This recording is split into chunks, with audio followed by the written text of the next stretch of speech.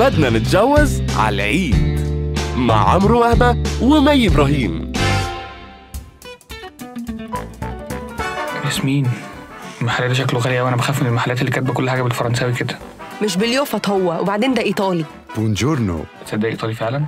لابس بدلة أشيك من بدلة فرحي. آه هو حضرتك شغال هنا؟ أيوه يا فندم. أمال صاحب المكان ده عامل إزاي؟ لا يا فندم صاحب المكان مش مصري ده مصمم إيطالي معروف.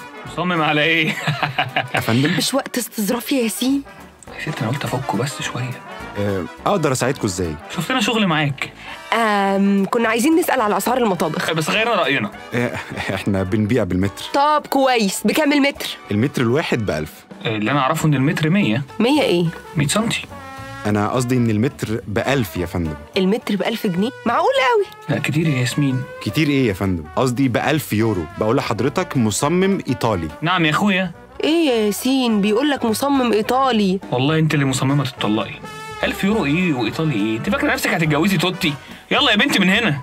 يا ياسين الإيطالي بيعيش. يلا يا حاجة من هنا بيعيش إيه؟ هتكفري؟ لا دايما لوجه الله. يلا pronto يا باشا أمال أنت عايز تجيب إيه؟ خشمانيوم زي مطبخ أمك؟ لا يا أختي إحنا هناخد مطبخ أمي نفسه هتجوز بمطبخ أمك يا ياسين؟ خلاص يا ست ولا تزعلي نفسك هنعدي على عم سمير بتاع الالوميتال الله يرحمه ده اللي عمل لأبويا وأمي مطبخهم يعمل لنا حاجة حلوة وبتعيش يعني هنلف لفة ونرجع لك يا خواجة